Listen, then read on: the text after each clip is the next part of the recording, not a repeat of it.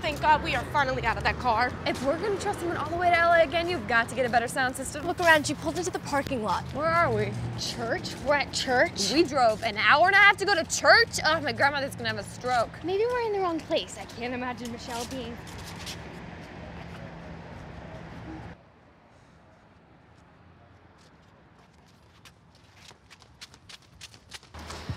Wow, so close.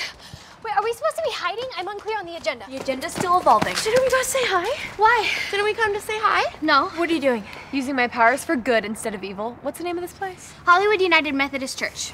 I'm not supposed to be here. You'll be home before dark. No, I mean, I'm Lutheran. I got it. It's an audition. For what? Sister Act? It's for an open call for dancers who sing for a new Broadway musical based on the movie Dark Victory. Dark what? On it. She's going to move back to New York. She doesn't have the job yet.